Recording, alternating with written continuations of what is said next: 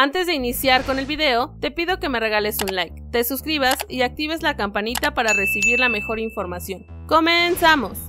Javier Correa insinuó que al América lo ayudó el arbitraje. Javier Correa, futbolista de Santos Laguna de la Liga MX, terminó caliente luego de que el Club América le sacara el empate luego de llevar dos goles de ventaja, por lo que cargó contra el arbitraje e insinuó ayudas al América. En zona mixta, el delantero argentino se mostró descontento con el trabajo del árbitro central del partido Diego Montaño, quien afectó a Santos con una tarjeta roja y un penal en contra. Creo que hay condicionantes que hacen que te vayas echando para atrás, faltitas para el mismo lado y nosotros por el desgaste no pudimos. En el Azteca nos pasó lo mismo, agregaron más tiempo del que se debió haber jugado, pero siempre pasa lo mismo con este equipo. No sé si hay prioridades, pero tiene que ser para todos iguales, dijo Correa. Aseguró que no tiene nada en contra del América, pero dejó ver su descontento con la situación en la que el arbitraje los puso. No tengo nada en contra del equipo, pero para el nuestro sí fue roja y para el de ellos no, dijo sobre la tarjeta roja a González. Por otro lado, revelan el motivo por el que el paraguayo Cecilio Domínguez casi no juega en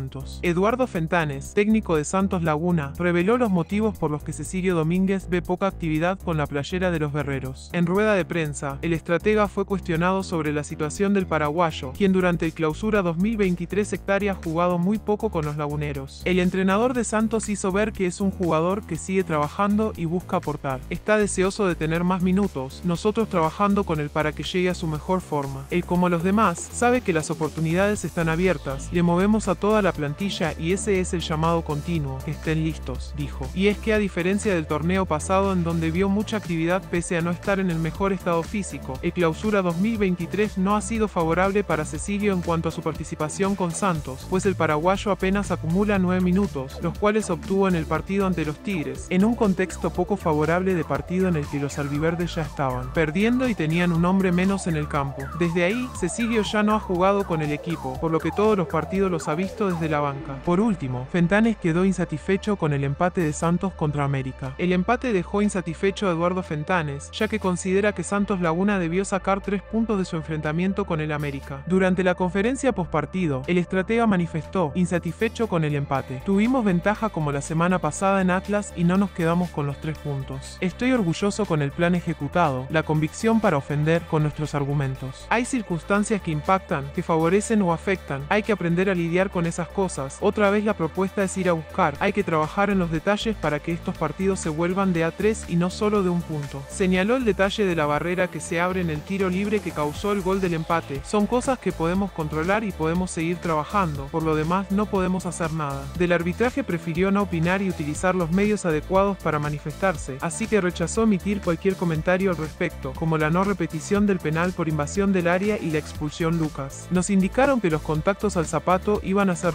Lo mismo nos pasó con Gorriarán y no se sancionó igual. Estoy confundido con eso, dijo.